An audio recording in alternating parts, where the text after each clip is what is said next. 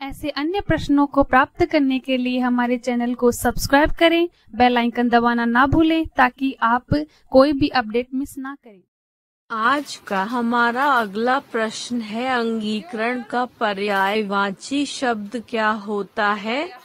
उत्तर, dash, अंगीकरण का पर्यायवाची शब्द स्वीकार स्वीकारोक्तियातम स्वीकृति, कबूल करना, अंगीकार मंजूर होता है।